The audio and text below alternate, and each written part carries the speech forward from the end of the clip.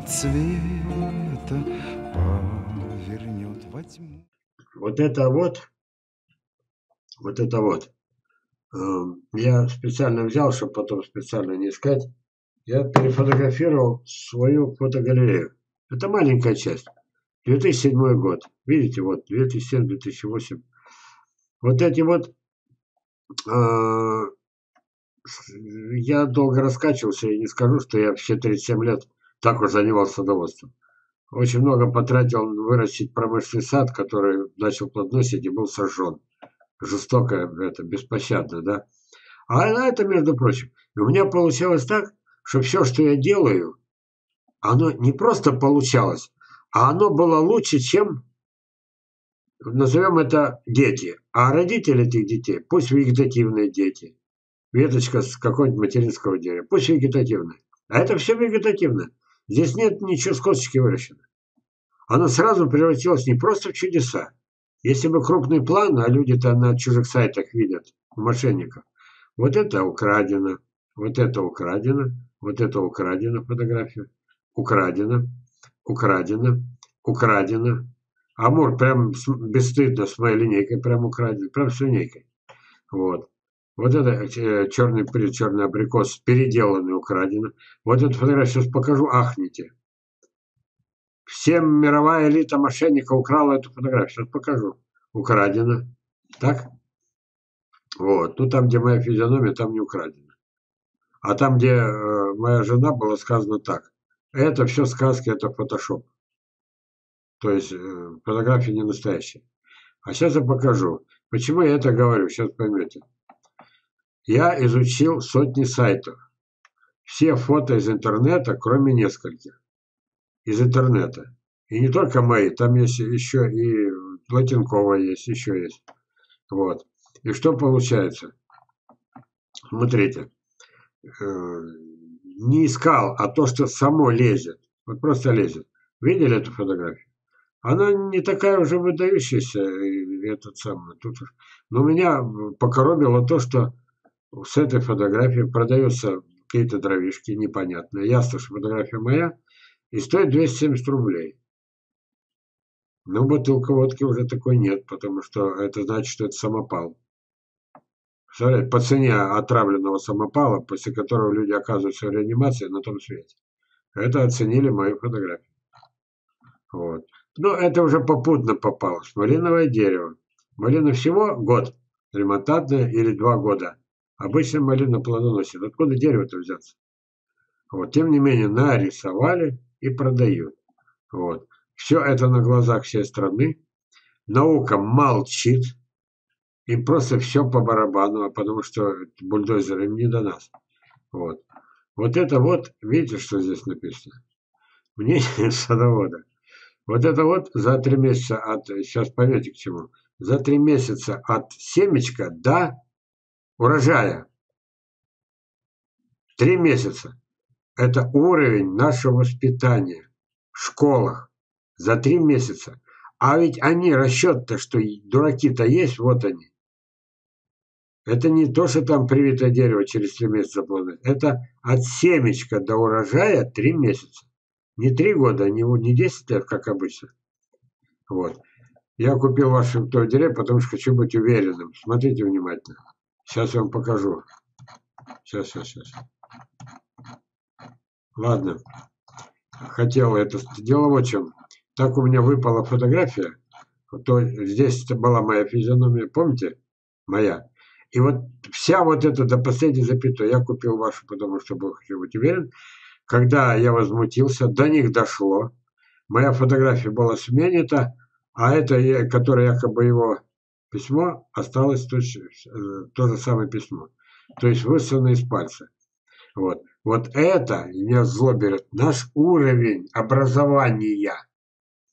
Как можно выпустить этого человека, который со школы, Э, который закон получил э, аттестат зрелости, а потом пойдет и купит, захочет иметь апельсины, лимоны, вишню, древовидное дерево, это, которое должно иметь зимний период спячки, еще и это, получается, 4 урожая э, горшок четыре раза можно посадить за год, и все четыре раза будут плоды.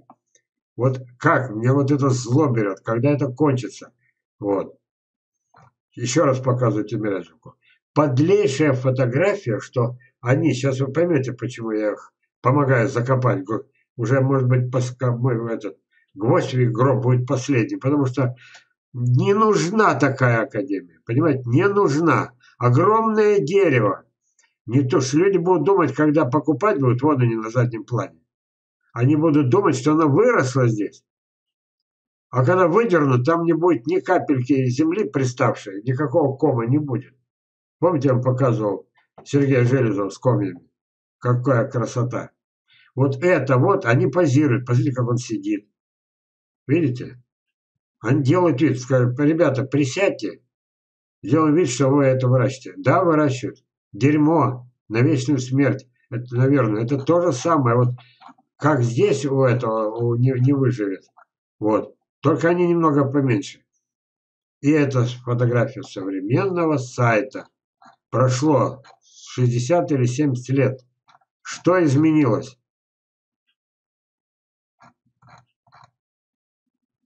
Вот они, девочки. Что, ребята, чему вы научитесь-то? Что вы выйдете отсюда? Вы же ничего не знаете, не умеете. Ни одна из вас агронома не пойдет работать.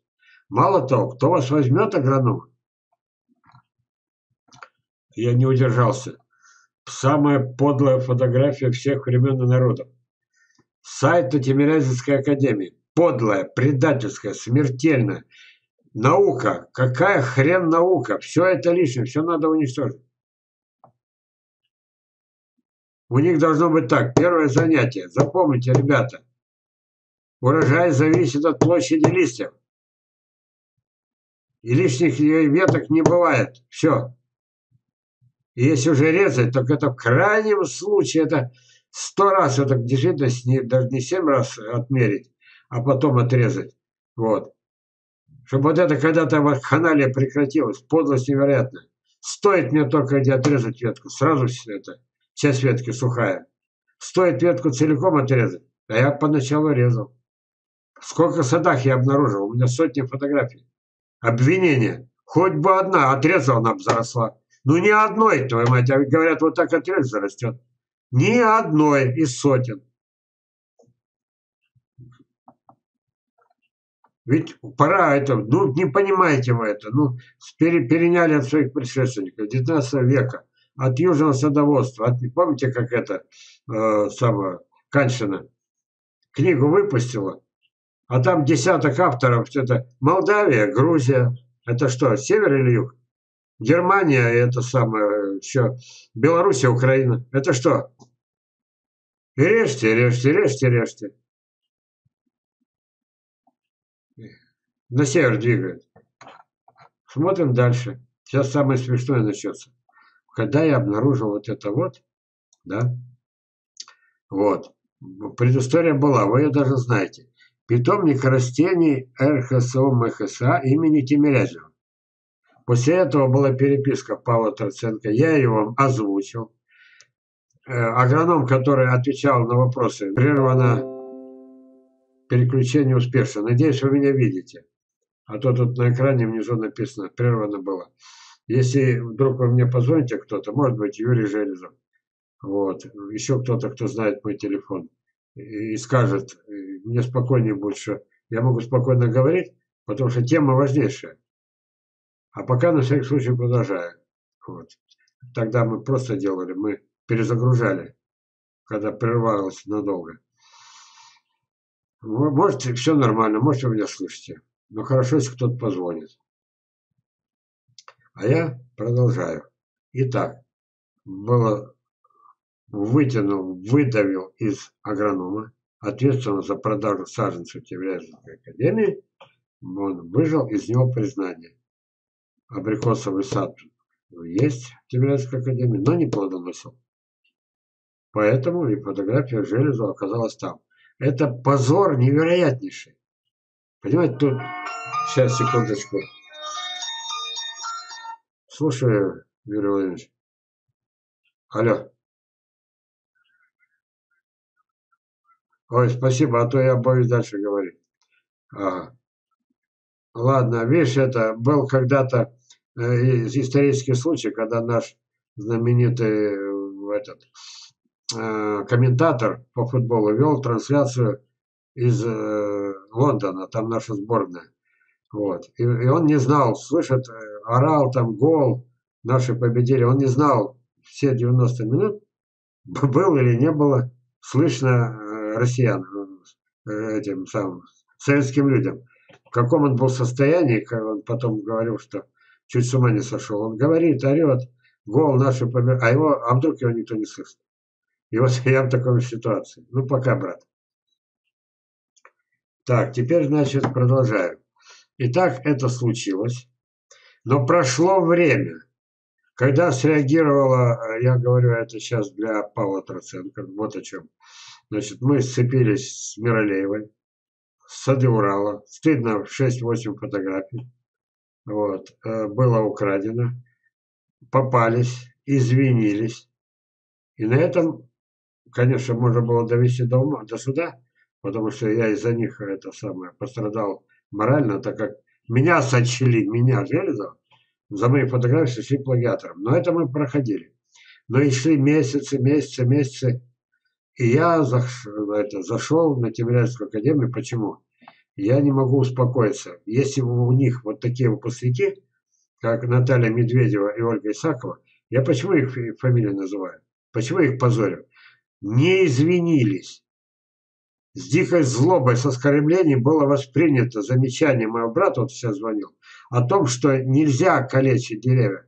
Он им только замечание сделал. Злоба была несусветная, потом слово за слово. Потом все это было, что вы мошенники, у вас ваши косточки дадут эти самые. Только э, дикари и жердели, помните? Хотя ни одной не стало из тысяч этих. Уже сколько писем пришло. Пока ни одной. Вот это было. И благодаря им я и добрался и до Академии. Как до Тимирязевска? Я несколько фильмов создал для их руководства. Как бы руководство к действию. Вот тут исправьте, делайте. Это не наше личное дело. Можно и дальше спать. Менялся, поменялся там ректор. А что он понимает в этом? Ничего, так же, как эти выпускницы, которые учили калечить деревья. Вот и продолжают сейчас. Думаете, они перестроились? Они теперь уже навсегда. И я обращался в скобках, писал, будущему ректору и знак вопроса. А вдруг подействует? Что бы получилось, друзья? Посмотрите. 4 сентября, ну, то есть 9 дней назад, я захожу, и что я вижу? Опять моя фотография. Но уже не там, где торгуют, а уже здесь на самом сайте. И что я узнал, ребята, сейчас вы держите за стол. Я тогда взял, смотрите, я ничего не выдумываю.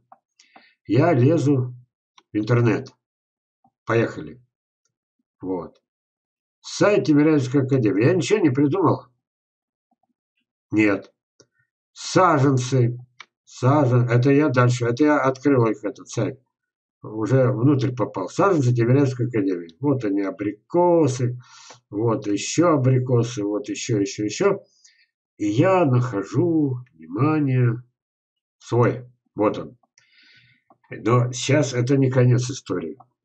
Новое, посмотрите, они на своем сайте размещают фотографию, и она должна, вот как те, тут трое э, детей высоковозрастных этих, Э, студентов, которые ни хрена втроем садили пятиметровый горшок огромное дерево, да, а ведь это халтура, подлость и предательство, и будущему э, покупателю. И вообще, чему они научились-то? Халтурить. И вот э, такие фотографии, да, это одна из них, но она моя. Они должны украсить сайт, они должны украсить Тимирязевскую академию. Абрикос успех. Заметьте, подчеркну, фотография моя, я с ними до конца разберусь. А пусть благодарят выпускниц. Если бы они не долбили бы мы э, э, выпускники Тимирязевки, а вы какой-то металлург. Ну, типа же были три брата, два умных, один металлург. То есть вот это имелось в виду металлург. Не, не, не заслуженный металлург, не орденоносец, не лучший, э, этот, который здесь э, что-то изобрел, даже в садоводстве, лучший изобретатель города Норильска. Инженер. Настоящий. Представляете? И они, благодаря им, я сейчас добрался уже до руководства. Вы кого выпускаете, вашу мать? Вы кого выпускаете? Вы посмотрите, что делала это, я, я, я это в виде митинга, но мы с вами уже, в принципе, все изучили. Я могу себе позволить расслабиться. Штамп, 4, 5 веток, одна более вертикальная, 4 бока, вот такие вот семилетнее дерево уже, это самое, отрезайте, вот на такой высоте отрезайте на, на, на кольцо все четыре. А, это, э, это ужас, это невозможно себе вообразить. Чему вы их научили, а? Ректор, проректор, может не вы, может ранее. Чему вы их научили? А они теперь, это крупнейший сайт, там миллион сто тысяч подписчиков, и они там это учат убивать. Не просто калечить, убивать. Вы бы видели ту фотографию. А стоило нам с братом рот открыть, вся грязь оказалась тут. И вот смотрите, имею я право так на такое, как это называется, на, на, на такой, на такой э, абрикос успех. Новый сорт отечественной селекции получен от Вильямину в результате опыления сорта смесью пыльцы. Ну, когда говорят смесь пыльцы, то девочки, э, это, Ольга с Натальей, вы тут оказались неправы. Когда речь идет о смеси пыльцы, также смесью пыльцы занимался и Э, это гениальный садовод Байкалов, сибиряк мой земляк. Вот. Это и есть, а то, что вы назвали свободное опыление, это как бы там было? Маш, и мошенничество, так назвали? А что, Велиминов не этим занимался, а? Как это понимаю? Вы хоть маленько-то разбирайтесь и сидите своим люпином, так и занимайтесь люпином. Мало у нас этого добра, чтобы новые сорта еще выводить. И вот они, пожалуйста, все это, то, что здесь написано, размеры, э, к этому фотографии, все, что здесь написано, это называется характеристика, не имеет ни малейшего отношения к моей фотографии. Нахрена вы это опозорились-то? А я скажу почему. Вы ее брали в интернете, как сказать, как эту фотографию вы брали как безымянную. Это надо было когда-то Виноградову увидеть. Он умеет находить, и он меня научил. Внимание! Смотрите, вы в какой ряд попали? Вы помните, я выше написал, что про мошенников. Когда я, я могу это еще раз сделать. Смотрите. Итак, друзья, учитесь. Я беру, нажимаю правую мышку. Это к тому, что когда-то вам тоже захочется иметь, и вы это, найти изображение в Яндексе. Вот оно. Фух, приготовьтесь. Вот эта фотография, видите уже, вот я не зря Байкалов вспомнил. Сибиряк Байкалов, фотография моя. Надо было на это назвать сибиряком. Пожалуйста, фотографию украли, вперед. И вот мы пошли. Если все это, смотрите внимательно. А он уже Тремов Северный, а он уже Восторг. Он уже успех, как он, он Серафим. Кстати, он есть Серафим. Вы видели, что делается? Вы видели? Вы как это? Посмотрите, посмотрите, посмотрите, посмотрите. Я стал этим самым жупелом или как там, мошенником. Вот он и Черный принц, вот он и Саратовский рубин. А? А что вы думаете? Это все? Э, так, э, Юра Желенов, Юрий Владимирович, ты меня слышишь? Потом именно вот это вот, э, мой это, митинг выдели отдельно, еще отдельным фильмом сделай, пожалуйста. Думаете, это все? Вот она, эта фотография, вот она. Вот смотрите, за курсором сидит. А вот это еще плюс. Изменили? Чуть-чуть. Это тоже она же. А теперь ее развернули на другой бок. Опять она, вот, вот эта вот веточка, вот она вертикально, вертикально, вот теперь она горизонтально. Положили еще куча, а вот еще. Ну, дальше пошли, это моя фаина, это моя фаина. Как фаины тоже воруют. Вот, поняли, да? Но это дальше, это уже друг, другая тема. Тут еще много моих. Мои фотографии оказались лидерами мировых э, самых красивых изображений. И это Сибирь, Тимирязевцы. Да мои ученики, мои помощники, некоторые из них самостоятельные личности, они без меня бы э, это самое и, и с красными дипломами закончили и ездят по этим самым. Или вот жалко, что Юлия Матвеева, наверное, никуда не ездит, ограничилась питомником. Пропадают таланты, пропадают в прямом смысле. Вот их польза. Отдайте им Тимирязевку. Есть постарше ребята, вроде Сергеева а, Николая Георгиевича. Правда, немножко староват для ректора. А почему и староват? У нас это самый президент Соединенных Штатов Америки, ничего, справляется, хотя старше нашего Сергеева, уральского суперсадовода. Вот. Ну, короче, отдайте Тимирязевку. Через пять лет вот это все, что вы видите вот на экране, вот все это будет там плодоносить. Вы думаете, я это нарочно, это так получилось, что я вам показываю невыдуманные истории. В двадцатом году осенью посадили саженцы от Железова, и уже это, первый же год уже сколько там, 60 или 80 плодов получили. Ну что это такое? Вы это умеете? Вы умеете скрестить сорт А, сорт Б, 8-10 лет ждать урожая? А работа кипит, а ничего нет еще а потом дождались и э, снова э, это скрестили, потому что нужно F1, F2, F3, F4, F5, F6. И уже когда вы будете на пенсии, это, с этим, как это, с помпой, 30 лет уральские ученые трудились, вывели новый сорт сливы. Я вам сейчас по десяткам садов повезу, где крупнее и вкуснее, и это. И морозостойче, чем тот самый сорт сливы. И также груша. Я залажу в интернет, эта груша также на десятках сайтов. Как можно создать сорт, чтобы человек фотографию списывать с интернета, прилепить? Вот что вы натворили. Вот что вы натворили. Видите, саженцы Третьяковской академии. Все выдумано, все из пальца. А человек зашел за сайт, красиво звучит. А? Как настоящее. Фу как бы выразился бы это Чукчикой. О, видите, вот он, я отсюда взял. А я теперь не верю ничему. Если я вот это вот сейчас возьму, и окажется, что все они взяты из интернета.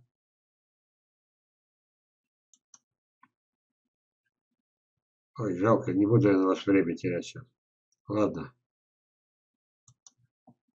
Все, рассказал. Как не стыдно, а? Как не стыдно. И в это время тратить эти, в конце концов, это хоть и нищая наука, но это все равно миллиарды.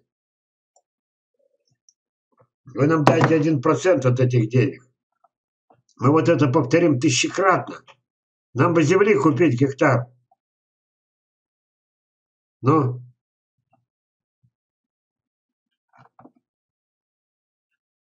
Я вот пишу клон абрикоса Серафима Джелезова. Да, это мой клон. У меня три учебных фильма, не учебных, а познавательных, скажем. Трижды я в этом саду, где сто процентов мои абрикосы плодоносят. И так получилось, я сам не знал, когда я э, приезжал, когда я снимал эти фильмы, разговаривал с, с хозяевами. Я не знал, что это будет страшным доказать, что Пусть это для меня было неожиданностью. Я потом валидол пил. Но это мое. Даже если бы это было не мое, а просто обнаружил бы, я бы сказал, Тимирязевцы, да вашу мать, да тут хватайте. И что я сделал? 14 августа 21 года я сделал эту фотографию. Сегодня 13 прошел ровно месяц. Ну и где наука? Вот я и пишу. Может, успеют до бульдозеров. Вот. Еще вариант. Можно поднять... Наука – это переделка учебных программ. Естественно, новая программа будет до запятой повторять все мое. Это понятно, потому что больше альтернативы, альтернативы нет. Еще и здесь будут учебные фильмы, и не последний вебинар. Вот. Но дело в том, что есть второй путь. Науку, по-моему, пока не вымрут, есть такое выражение, мамонты, да? Ведь смотрите, когда мамонты были уничтожены, правда, ученые считают, причем не безосновательно, что это результат катаклизма, так как они в одночасье пропали. Изменился климат, они вымерли. И тогда только вот такие вот такусенькие эти землеройки э, с этими самыми, э, но э, с молочными железами, вот они тогда только смогли вылезти из земли и расплодиться. Ну, до этого их просто чик, жрали эти самые. Динозавры были не только 30 метров длину, но были вот такие динозаврики. Все это жралось. И тогда только это. Так вот, чтобы мы могли, уже наука, еще раз говорю, мамонты не вымерли. Есть другой путь. Это возможность широкого внедрения э, в сознание миллионов людей. Но для этого нужно с экрана вот это убрать. Вот эта звезда, э, я, это, я говорил как, уберите их с экрана. Я их предупредил. Я не орал тут, как сейчас ору. Я им сделал специальные фильмы. Я выслал на этот самый телеканал. Уберите, прекратите это самое. А они, блядь, в последнем фильме опять уже. Мало ей было того, что в павильоне уничтожила муравейник, уксусом поливала. Это самых главных защитников на Земле. Придумать такое, искалечить дерево. Дерево искалеченное становится беззащитным перед жуками, гусеницами, э, плодожоркой, тлей. Абсолютно. И вот они все жрут. А их жрут, в свою очередь, муравьи. Это их охотничьи угодья. Искалеченное дерево. Не, вы не калечьте вы его, не калечьте. Сколько водить? Ну, опять Софью с, это, с э, Еленой водил по своему саду. Ну вот, сколько прошло? Три-пять дней. Ну что это творите-то? Ведь это же дерны, нетронутые, муравейники, никто их не трогает. Подвожу, говорю, покажите хоть одного муравья, три полно. Ну как полно? Относительно полно, я же не, не прыскаю. Каждый свою долю жрет, каждого свое. Когда тля э, выполняет свои обязанности, муравьи их съедают. Это уже другое дело. Съедают, не защищают.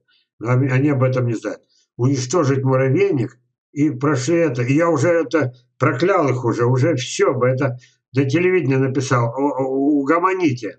Это большое дерево, 50 или 100 лет, вот такой муравейник огромный, здоровый. И они опять поливают, посыпают ядами. И хихи-ха-ха. Дикорос, который муравейник защищал десятки лет. И просто защищал. Он его еще и кормил Потому что все, что съели, а это муравейник большой, а лет десятки, а это там десятки, сотни килограмм органики, это отходы от муравьиных, от меловинных, это, назовем муравьиного туалета. Это все доставалось дереву. Что вы творите? Обзывать вас, а вы сами такие, это просто жертвы этого, какие бы ни были кандидаты наук. Ну, Выдуманная технология. Я знаете, почему эту фотографию поместил? У меня не успел я показать, где они посадили этот уродливый саженец. Просто не успел. Вот. И просто забудьте, друзья. Она не знает, как состав почвы, она не знает кислотность, она не знает ничего. Они привезли раз, два, три, четыре, пять, еще чего-то там в этих флаконах. Все это будет сюда высыпано. Зачем? Ребенка, если кормить шоколадом, что будет? Шоколад, шоколад, шоколад. Мы говорим, вы что? Он уже вот такой. Он будущий диабетик. А здесь еще страшнее. Здесь нормы-то в сто раз больше. Ребенка не перекормишь, у него желудок отказывается принять. Вот. Видели я уже очередную фотографию? На черта ты отрезаешь это? Кто тебя просит? Дерево просит. Ля-ля-ля-ля-ля-ля, просто чтобы было чем время занять. А вот эта девушка, я когда-то на нее возлагал большие надежды. Вот. Да, согласен, да, королева красоты, да, приглядел ее ректор.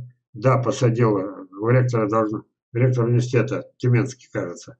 Да, Тюменский. Ему нужно было красивую, э, это как, престиж, да, престиж университета. Самую красивую девушку посадили. А что там, чай налил, э, кофе, еще надо уметь кофе. Да, это не просто. И чай заварить тоже талант надо. Вот, и бутерброды сделать, и все понятно. Вот. И не перепутать бумаги. Все-таки он ректор. А потом он идет министры. Представляете? Он идет министром, э, сейчас скажу как правильно, науки и высшего образования. И это нормально, наш сибиряк, все. Ну, слаб человек, взял ее туда кем? Замминистра. И я туда подумал, вот она свежая кровь. А вдруг до нее дойдет? Я несколько раз показывал ее, любовался ей, да. Красавица. Вот. Она не такая, что это на снимках. И дети у нее есть, и все серьезно. Вот. А вдруг это свежее? А вот такие надо. Помните фотографии? Стыдно показывать. Огромный зал, и все спят и храпят. Это называется заседание Президиума Верховного ой, э, Академии наук. Эти фотографии влетели весь мир. Вы что думаете, после этого их просто взяли всех и молодых набрали. Вроде Савинича или это самое, или его подруги там, Софья или э, Сергея Железа, который все-таки не как я, самоучка, а агроном натуральный, с дипломом. А? Тишина. А в это время наши эти продолжают гноить деревья. Приемы простенькие, о том, что это смертельное. Откуда ей знать? Ей сказали это, на гребе снегу, и прикрой, чтобы он дольше не таял, чтобы быстрее сгнило. О чем она не догадывается. Вот он, пожалуйста. Будущее науки. Это я так думал. Я вам сейчас анекдот расскажу. Дело в том, что э, сейчас, знаете, анекдот, э, он не анекдот, это сама жизнь. Э, в жизни такие бывает. Я пойду только горячую кипятку подолью. Да и устали вы, наверное. Без перерыва больше часа говорю.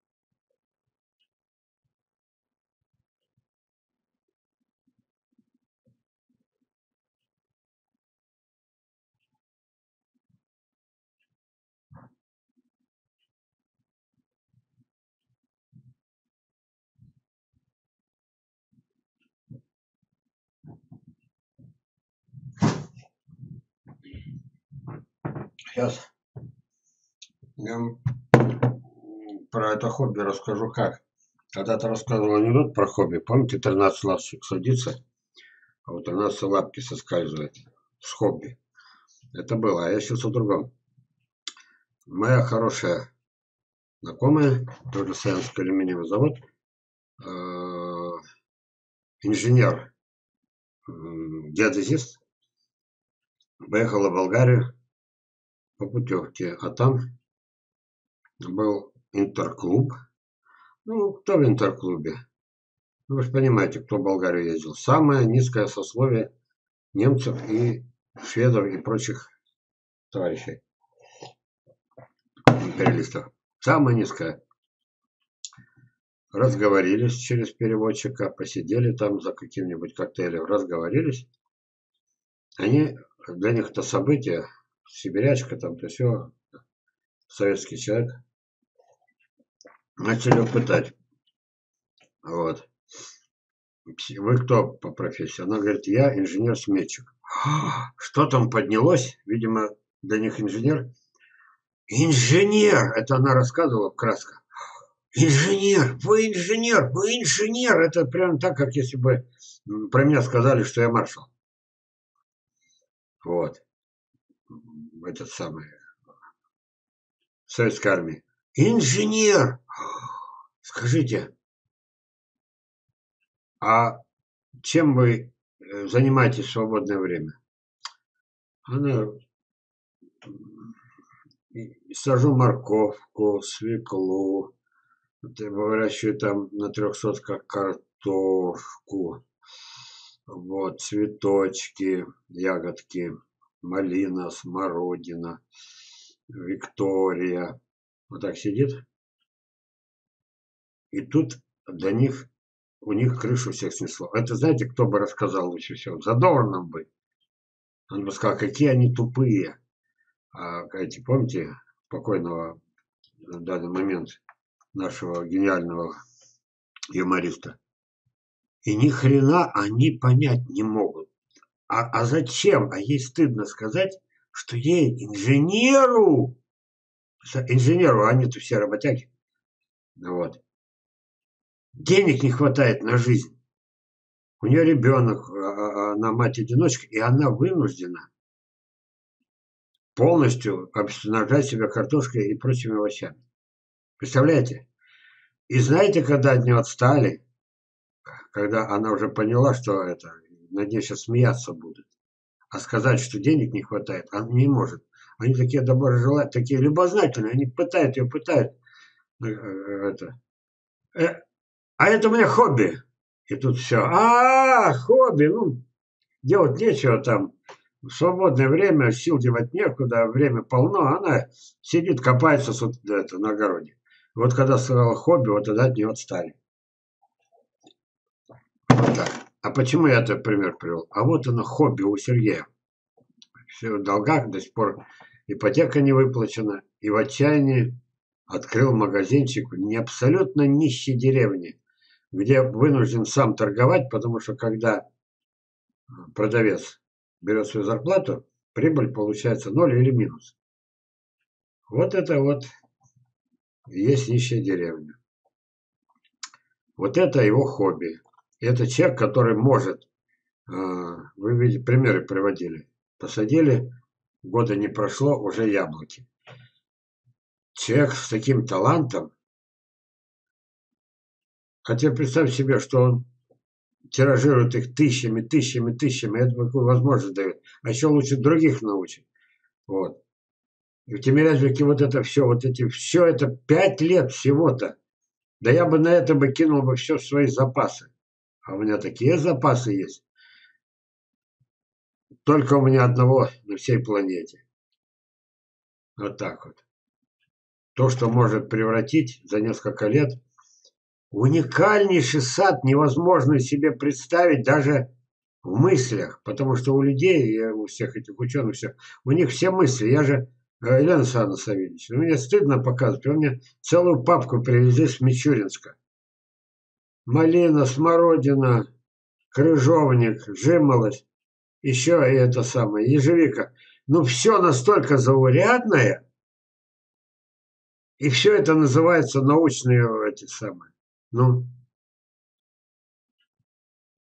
как можно все это не улучшить, я ума не приложу. За столько, за десятки лет. А почему? А потому что там был еще тот же самый а, анекдот с перестроечных времен. а, они делают вид, что работают, а мы им делаем вид, что платим.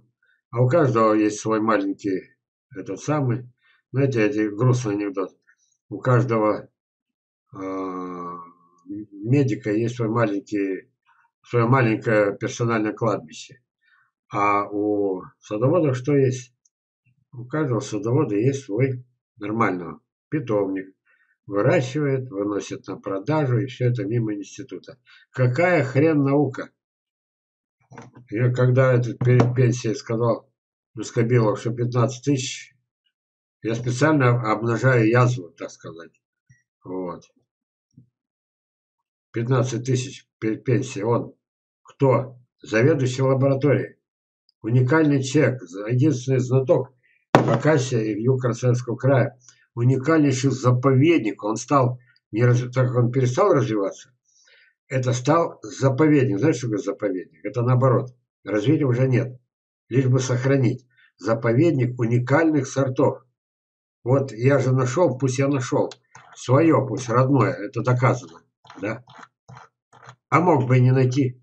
Еду краем и на Елену Васильевну в Александр смотрю, она сидит справа.